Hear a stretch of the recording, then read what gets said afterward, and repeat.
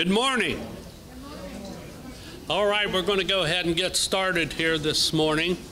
So, welcome to Bible Baptist Church Senior Saints here at the end of January. So, believe it or not, the weather is good. It's just January cold and it's not raining until this afternoon, but that don't matter. We'll be taking a nap anyway. So, we're going to sing number 113, Savior like a shepherd lead us, and we'll sing all four verses.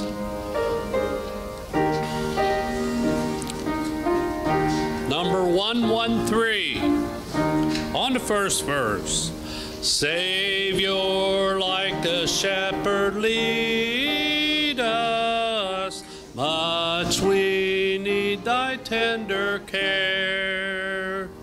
In thy pleasant pastures feed us, with our use thy folds prepare. Blessed Jesus, blessed Jesus, thou hast brought us thine we are. Blessed Jesus, blessed Jesus, thou hast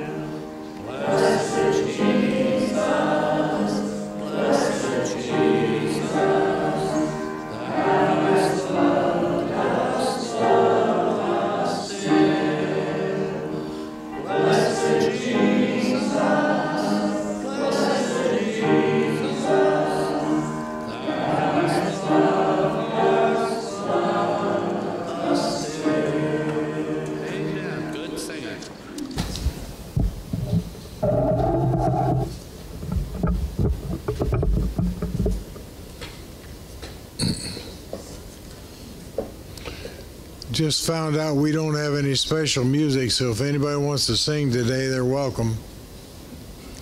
Uh, John and Patty aren't here, so. How do you know when you reach middle age? You ever wonder about that? You know, we're supposed to resist temptation, but middle age is when you have a choice of two temptations and you always pick the one that'll get you home before nine o'clock. That's when you know you're middle aged. A lot of you like facts, you like trivia. Let me give you a fact today. The average person walks 913 miles every year. That's the average, 913 miles.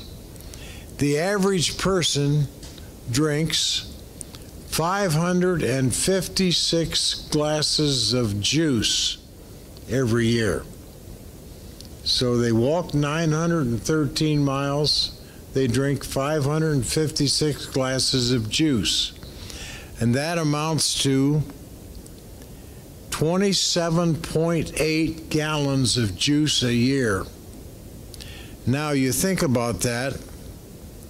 That's 33 miles to the gallon. That ain't all bad. I think that's pretty good. Connie was telling me that, that Bruce made a New Year's resolution this year. You know, we all make our New Year's resolutions, and by the 10th of the month, they're all gone. But Bruce is going to keep his.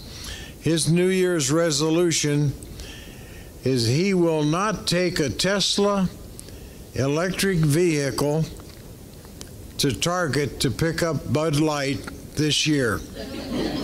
He's not going to do it.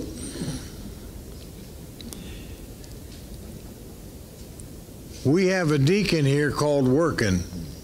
We have working deacon and we have a shirking deacon. But Working was out in his 78 Mercury dog sled. He was sailing down through Happy Dale, doing about 45 miles an hour, just enjoying the the good weather and everything like that for January.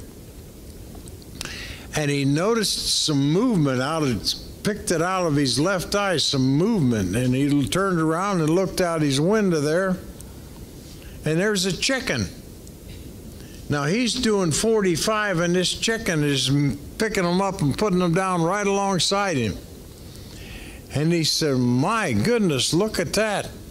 He, so he picks up speed a little bit and he's sailing up about 60 miles an hour and the chicken passed him. And he looks out and he said, That chicken's got three legs. I'm looking at it, it's got three legs. I never seen a three legged chicken. And lo and behold, this chicken takes a left turn and zips up in the mayor's barnyard in the Happy Dale. Well, Working decides he'll follow that chicken and see where it's going, so he makes a left turn and he's up in the mayor's barnyard, and the mayor's out there drinking a cup of coffee, just looking over her domain, you know, and Working pulls up alongside, rolls down the window, and he said, You see a chicken go past here? She said, Yep, I did. He says, Did that chicken have three legs? Yep, it did. Never seen a three legged chicken. Yep, I raised them here. You raise three legged chickens? And the mayor said, Yep, we raise them here, right here in the farm. How come you're raising three legged chickens? Never seen one before. Well, it's this way I like drumsticks. And Bernie likes drumsticks. And that was just fine.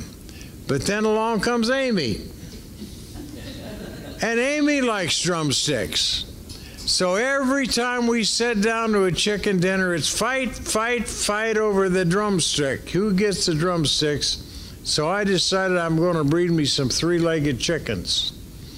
And Working says, Well, that's fantastic. He says, How do they taste? She says, I don't know. We haven't caught one yet.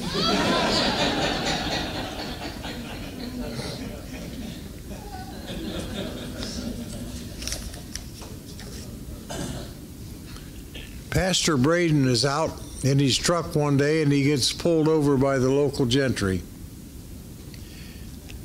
The red lights go on and they pull him over to the side policeman walks up to the window and rolls down the window and he says, You know, you got two tail lights that are out. I do. Yes, you got two tail lights are out. So Pastor Braden opens the door and he gets up and he walks back to the back of the truck and just starts crying like a baby and howling and wailing. And the policeman says, You don't need to cry about it. It's just two tail lights. And Pastor Braden says, They're gone. They're gone. He says, It's not a big deal. You're not going to get a ticket. He says, It ain't the tail lights. He says, I'm missing a travel trailer, a wife, and six kids.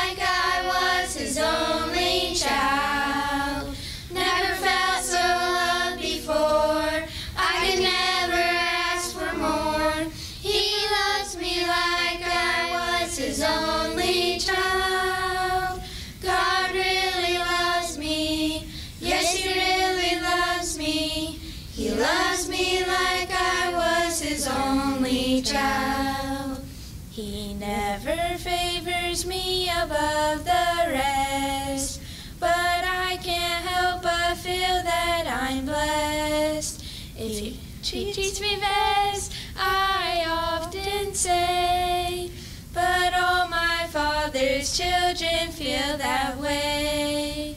He loves me like I was his only child.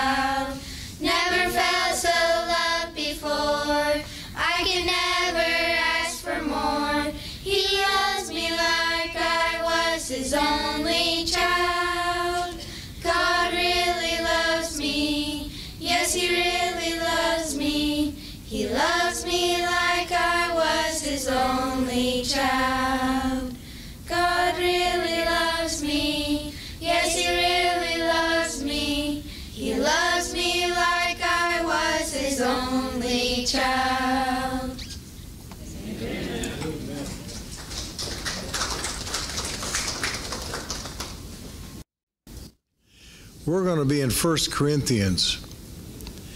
And this is your New Year's message. We're a little late, but it's still the new year, I think. I think we got 11 months to go.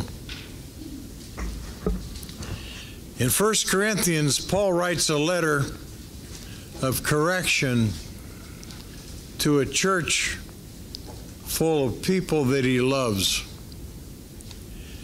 This was probably a very difficult letter for Paul to write, dictated by the Holy Spirit. He put it down, but they had to be corrected if they were going to do what they needed to get done in the Lord's work. If they were going to accomplish anything in the Lord's work, they had to do it the Lord's way. They were Paul's children. And I know as a father, I had a very difficult time collect, correcting my children, but I knew that I had to correct my children or they wouldn't grow up the right way. And every parent has this responsibility, and I think every parent probably has a lot of difficulty correcting their own children. Paul had the same problem with his children. And our children have to be corrected, both physical and spiritual. they have to be put on the proper path. And in order to, for them to do what they need to do in the Lord's work, they have to stay on that path. We know around here that when our pastor preaches through the Bible, when he gets to a place where the Bible is correcting, he has to correct his children. And you and I all know that our pastor loves his children. He certainly does. 32 years he spent, and we are his children. God has put him as our overseer, as our under shepherd, and oftentimes we need to be corrected to stay on the right path. In the book of First Corinthians, the Apostle Paul covers many topics. He denounces the wrong and he tells them how to get right.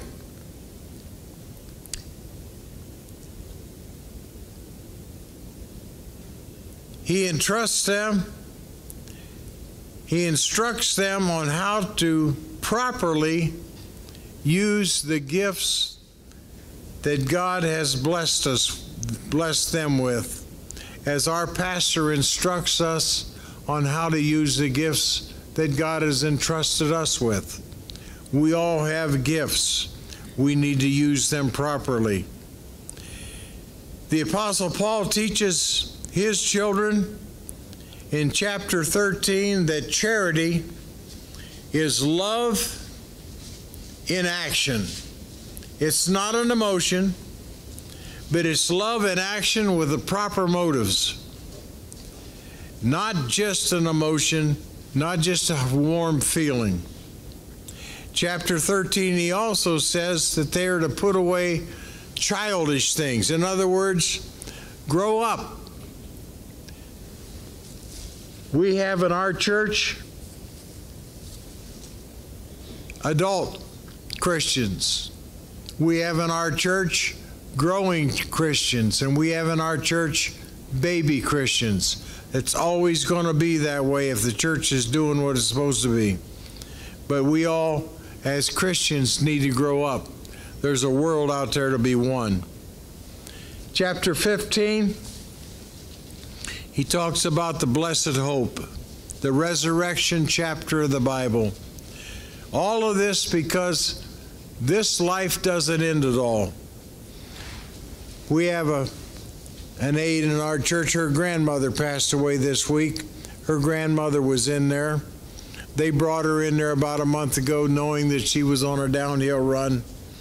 And I talked to her this morning before we come out here. And I said, You know, you and I both know that life doesn't end with the grave. I asked her, I said, Have you ever, in your young years, thought of something that happened when you were a 10 year old or a 12 year old and maybe a dream in the night that was just as real as real could be? And she said, Oh, yeah, that happens often. And I says, That tells you something your soul doesn't die. Your soul is always alive. That soul of a 12 year old and the soul of the 30 some year old and the soul of the 80 year old are all the same age. That soul lasts through eternity. That body's just the vehicle that our soul lives in. That's the house that we stay in while we're on the earth. And if we didn't have the blessed hope, the resurrection, life wouldn't be worth living. Paul, Paul starts out with chapter 16 with a lesson in giving. He talks about how to give and give properly. If your heart is right with God, your giving will show it. That's always true a Christian with their heart right in, that's right with God, it will show in their giving. Not, we're not just talking about money. We're talking about giving of themselves and their time and their talents, all for the service of God. And he, then he finishes out by talking about what lays ahead for his ministry. And in verse 9 of chapter 16, for a great door and effectual is opened unto me, and there are many adversaries. And I want to talk to you for a short time this morning on how to be effectual in 2024. We have a great door open for us. We haven't been there before, and that door is 2024. How are we going to be effectual knowing that our adversary, the devil, wants us to fail?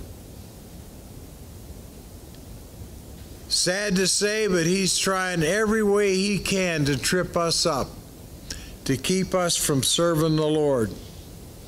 But here we are with a new year. And a new year is just like a book with blank pages. And every day of our new year, we fill in a page.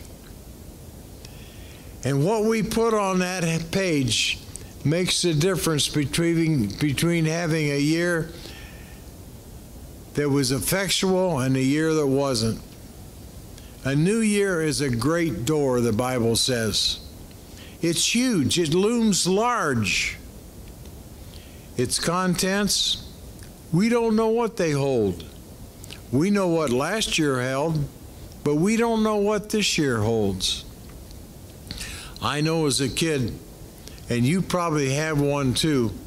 I remember going down to Granddad's, and Granddad had a four bedroom. All the kids, of course, had long gone, and they had one room in there. There was a small bedroom.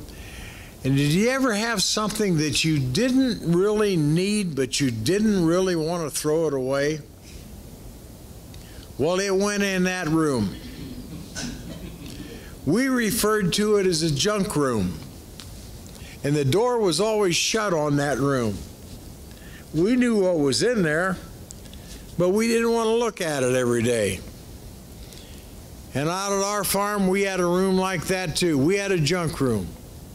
And if you didn't know what to do with it, but you didn't want to throw it away, in that room it went. And that was a door that was hid. Our door we can't hide.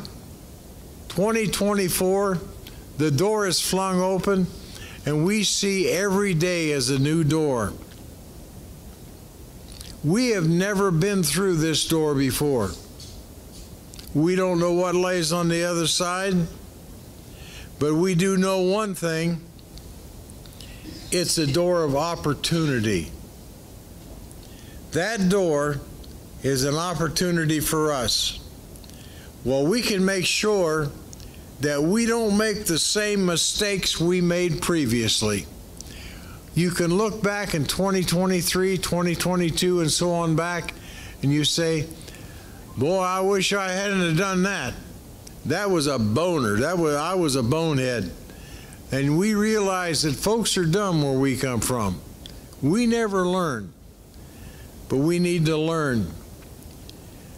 Hindsight is 2020. But how come we don't learn much from it? Well, we look back at the years gone by and we say, Boy, I wish I'd have done that or I wish I'd have done this. Make 2024 the year of I'm glad I did instead of the year of I wish I had. Too many times it becomes the year of I wish I had. Don't make next this year the year of I wish I had. Don't miss the opportunity to be a blessing to somebody. One of the verses that I've held to, to my heart, and I try to live this verse every day, is Proverbs chapter 3 and verse 27. you ought to write that down and read it and hide it in your heart. Withhold not good from them to whom it is due, when it is in within the power of thine hand to do it. Think about that verse. You need to start off your day by reading that verse and meditating on that verse and thinking, what can I do today that I can be a blessing to somebody with? Things that I can, not things that I can't hope to do, but things that are in the power of my hand.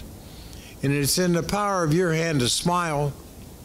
It's in the power of your hand to have a kind word. But make it something that you can do to make somebody's life worth living. Make it the year of the extra mile. Now, Sonia, that doesn't mean that you miss your exit and you have to go to the next one and come back. The Romans had a rule that any Roman soldier could make any subject carry his burden for one mile.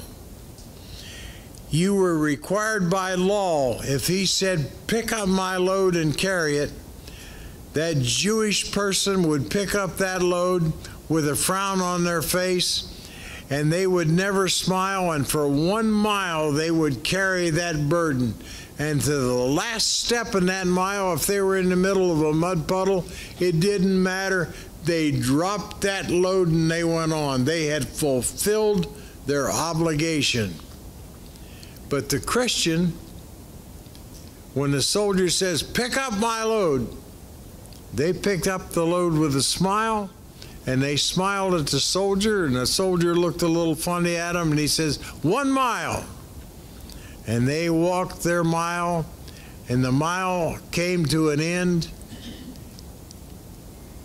And the soldier looked to pick his burden out of the mud puddle, but he didn't. Because the Christian smiled at the soldier and went on the second mile and smiled all the way the soldier couldn't get over that.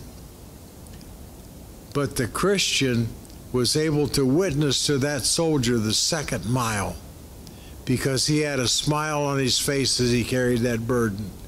Make 2024 the year of the second mile. Go that extra mile. We need to make 2024 the year when we are effectual. The word effectual means useful, valuable, ending up with the desired effect. Don't just spin your wheels. I'm reminded Connie's uncle was our superintendent of schools, Olin C. Lake. Many of you had his wife as a teacher in Byesville School, Evelyn. We fondly called him Dad Lake. Thursday night at school was the board meeting, and Dad Lake drove a 1952 Hudson Hornet. And not only did he drive it, he drove it. he had the pedal to the metal, and those Hudsons would flat out fly and Dad Lake made that thing fly. Across the street from Madison School was a little grocery store, one pump, gas pump, restaurant, so on, called the Crow's Nest, right across from Madison School out there in 22. Well, Dad Lake would always park over at the Crow's Nest, and before, after the board meeting was over, he'd get him a cup of coffee and then head back to Byesville. Well, we were seniors in high school, and we parked the road over and come across a cornfield and a hayfield and a creek and slipped up after dark and slid a jack under Dad Lake's axle and dropped his rear tire in a watermelon rind not just any watermelon rind, but a watermelon rind that had set for a few days and was quite slippery. And then we let the tire back down and we took our jack and we slipped back across the creek and we stayed there in the willows and we were waiting and watching. Well, Dad Lake comes out, bouncing out across the street, goes in, gets his cup of coffee, and he jumps in that Hudson and run, kicks her into gear, and everything's stick shift back then. And he hit the pedal to the metal and run. And it took him a while before he could grind that watermelon around. he got out and looked at that. He never did find out who did it. I think he had some suspicions, but we weren't anywhere to be found. So, but I often think of that, and so many times we spin our wheels too. We don't get much accomplished but we need to make 2024 a year when we don't just spin our wheels, that we need to be effectual. The word effectual comes from the same root word that we get our word energy. Energy comes from the same root. The word energy means full of power to do work and full of wisdom to use that power wisely we have the power within us, the Holy Spirit of God, to do the work that we need to do in God's in God's field. We need to have the wisdom to use that power wisely, and we need to pray every day that God will give us that wisdom. I remember as a kid, I was the oldest boy and many of you remember the dead chestnut trees, the chestnut blight that killed the trees. And there were chestnuts all over, made wonderful fence posts, wonderful. But in order to get a fence post out of them, you had to cut them down. And in order to cut them down, some of those trees were pretty good size. We had a seven foot crosscut saw, and my dad taught me to use that crosscut saw. And he said, Now, what you do, you know, I'm seven years old, eight years old. He says, You don't push a saw. He says, You pull a saw. He says, I'll pull it my way, and you pull it back your way. And I'll pull it my way, and you pull it back your way. Don't push it. You can't get any place pushing a saw. Pull it. Let the saw do the work. And that we did. And here's a seven year old and a 30 some year old sawing up dead chestnuts and splitting them and making fence posts out of them. But the wisdom to use that power wisely came from pulling it and not pushing it. Our spiritual power comes from the Word of God. All scripture is given to me by inspiration of God, and that's in 2 Timothy 3 16 and 17, and is profitable for doctrine, for reproof, for correction, for instruction in righteousness, that the man of God may be perfect, thoroughly furnished unto all good works. God teaches us through the Word what is right he teaches us what's wrong, and He teaches us how to get it right and how to keep it right. That's all through the Word of God. That's where our spiritual power comes from. We get our power from the Word of God. We talk to God in prayer. God talks to us out of the Word. That's where our power comes from. The third thing, the third part of spiritual power, comes from holy living we need to strive every day to live closer to the Lord than we did yesterday. To be a better Christian today than we were yesterday. We need to make 2024 a year when we recognize and conquer our adversaries. The devil wants us to fail. I can remember as a kid coming home from Sunday school, I just loved to read the Sunday paper. Not the news, not the sports, but the funnies.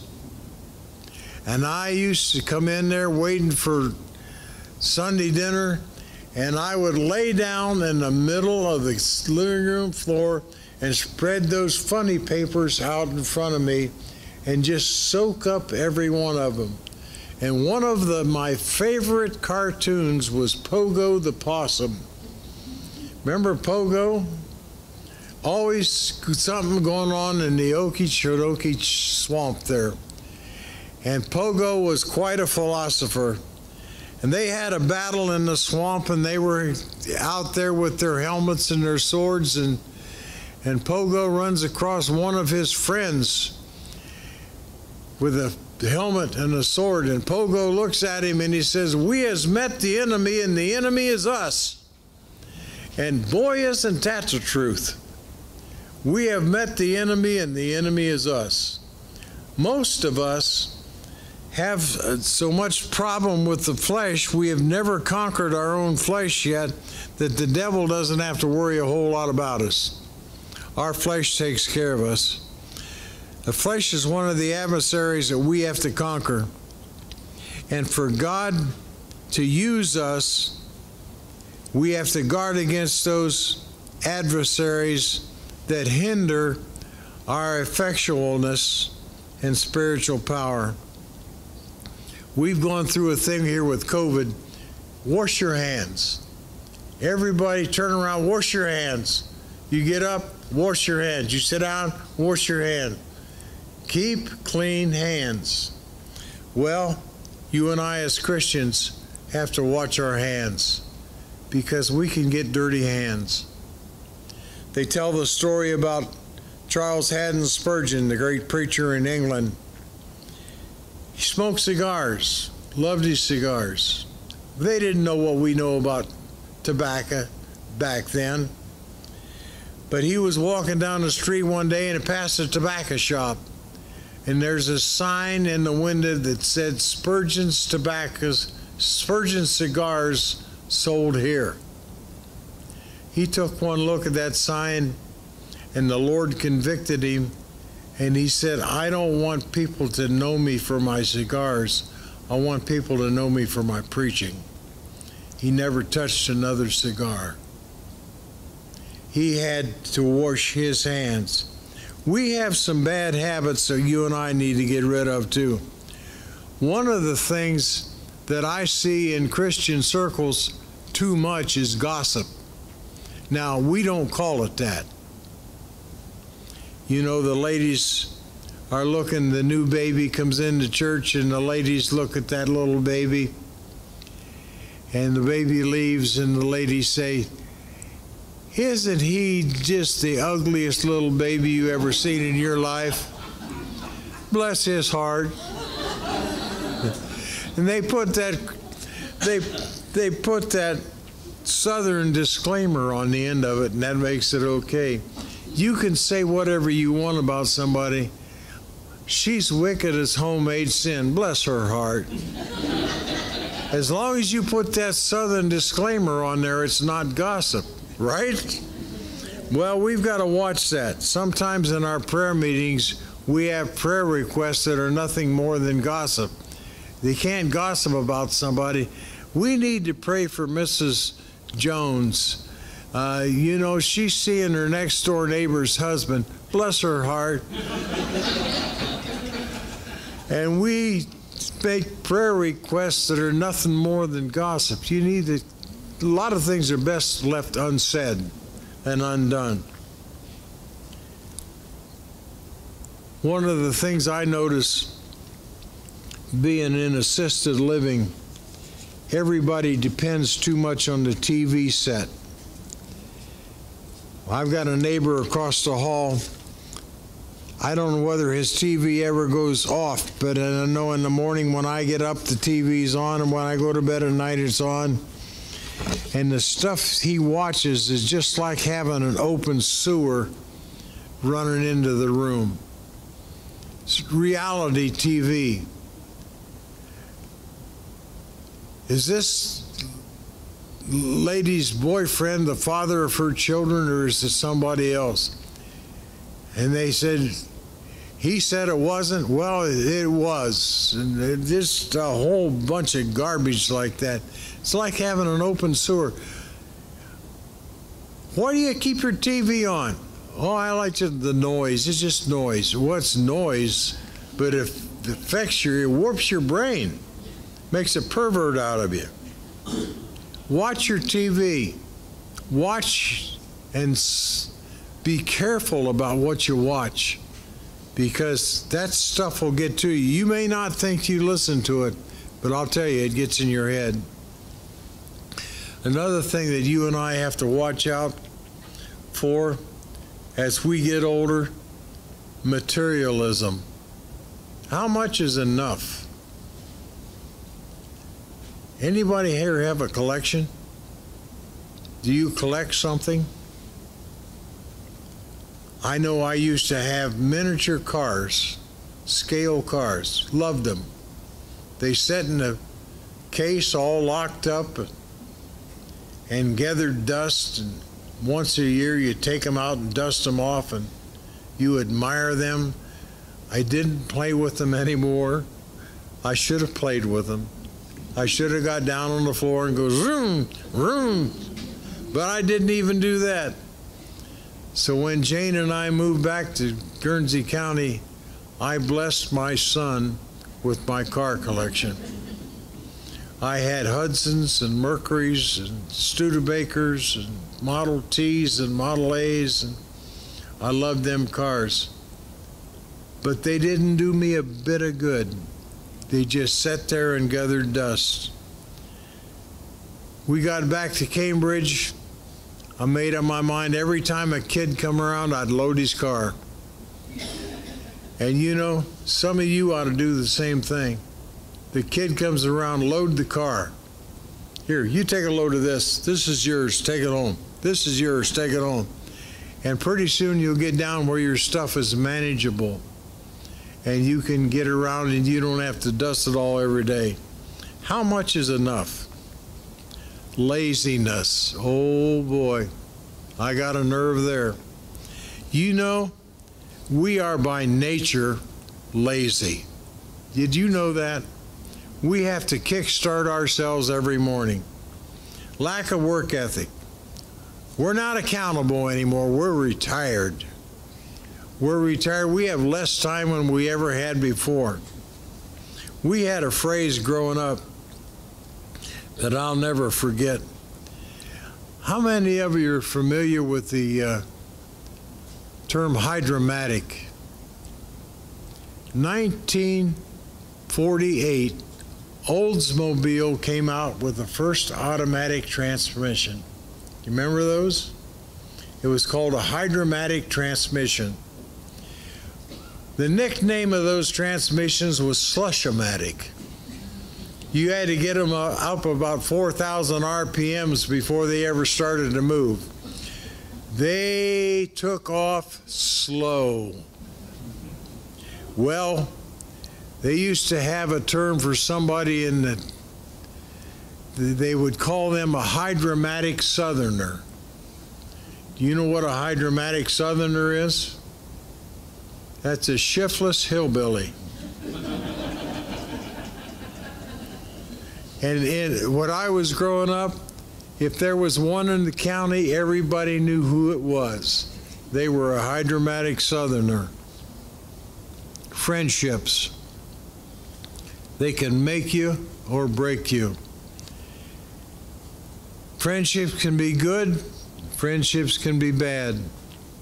Our acquaintances are many, our friends are few. You are fortunate in your life if you can count on one hand five real good friends. We name a lot of people friends that are merely acquaintances. You ask the hillbilly, how do you tell the difference between a friend and an acquaintance? The hillbilly will tell you, you would borrow from, a, um, from an acquaintance, but you'd only loan to a friend. You think about that. That's deeper than you think. They will make you and they will make or break you. Another thing we have to guard against is stinginess. I'll tell you what, the older we get, the tighter we get. We get tighter than the bark on a tree, and you got to guard against that. We get to the place where we can, where we, or we get what we can, we can what we get, and we sit on the lid. That's what old age is. We don't give anything away. We don't even give our smile away. But we get stingy with everything. You need to be compassionate. You need to be giving. You can't take it with you. I never saw a Brinks truck in a funeral procession. Never. Now, in an Italian funeral procession, you'll see a cement truck now and then, but but never a Brinks truck. Compassion, lack of compassion. I'll tell you what, paybacks are wicked. It doesn't take much to give somebody a smile, a kind word when they're going through a trial. Sometimes, if you're not compassionate, God has to take you there. God will make you compassionate. I started my first church in 1976. My mom and dad came up for Charter Member Sunday, July 17th, 1976. Came from Cambridge to Michigan. Wonderful day. Done a lot of things in my life, but my mother couldn't be proud of. She could be ashamed of if she ever knew it. But that day she was proud. My dad was proud of me. We had, I think, we started a church in April or May, and we had maybe 30, 35 people when we chartered it. They went back to Cambridge that Sunday afternoon. Monday, I come home from work. I still work at General Motors. So I walked in the house, the phone rang, it was my brother. I've told the story before. Come on home, mom's dead. My mom had gotten killed in an accident. Mowing the grass, got the power mower tied up, John Deere 18 horse tractor, tied up in a guy wire, tipped over backwards and crushed her chest. You know, I had a peace about me. I knew where my mother was. You don't lose somebody when you know where they're at. My mother was in heaven. But I just had to ask the Lord, and I don't think it's wrong to ask the Lord, why, Lord? Why, after all these years and all the nasty, mean things that I've done and been, now that I've done something right, you take my mother home? And I had to ask that question. Well, sometimes we never get the answer. But I got mine about two weeks later. I had a 20 month old child die in the church, and that was my first funeral. That 20 month old child was a Canadian Indian. Her aunt came to church, brought the little girl and her sisters and had God not taken my mother home, I would have never had the compassion to deal with the family. Grandpa was a Canadian Indian, a drunkard, 70s. Uncle Charlie, Canadian Indian, drunk all the time. Never darkened the door of a church except for a funeral or a wedding. You couldn't have got them to come to church on a regular day if your soul depended on it. They came to the funeral. Grandpa got saved. Uncle Charlie got saved. Five other people got saved. If God hadn't taken my mother home to her reward, I wouldn't have had the compassion to deal with that family. Sometimes God has to take you there. Don't be guilty of lack of compassion. And then we got to watch our emphasis. Anything that detours you away from the local church is not God's will. Promise keepers, all that stuff like that, that drag you away from the local church, that's not God's will. God works through the local church. God blesses the local church. God blesses the mission programs of local churches. God blesses the local church. Don't let anybody drag you away from it. Everything needs to be centered in the local church. Your giving, your alms, everything like that needs to be out of the local church. The last thing, uncertainty about salvation. I've told you this before. First thing I did when I got to college is find me a rest home to preach in. And I found Grove Crest Convalescent Center. They needed somebody to do a Sunday service. I before I even enrolled in Bible college, I had a church or I had a place to preach on Sunday afternoons. They envied me. They always tried to get me to let them preach in my church on Sunday afternoon. No way, boys. Go get go get your own. I had 66 residents in there, 66 beds when the places were full. Had this lady come to the services, 95 years old, Methodist lady, sweetest lady you ever met in your life. And she used to brag about all the perfect attendance records that she had all those years going to church. But 95 years, Nobody ever told her that she had to get saved to get to heaven. And at 95 years of age, she trusted Jesus Christ as her Lord and Savior. You got to be certain about your salvation. If you've never doubted your salvation, something's wrong with you. The devil's not worried about you. The devil will try to make you doubt your salvation. You get the assurance of your salvation out of the Bible. When you do what the Bible tells you to do, and you do it, the Holy Spirit will move into your heart. You're saved. I don't care what the devil says, you're saved. You need to have assurance of your salvation.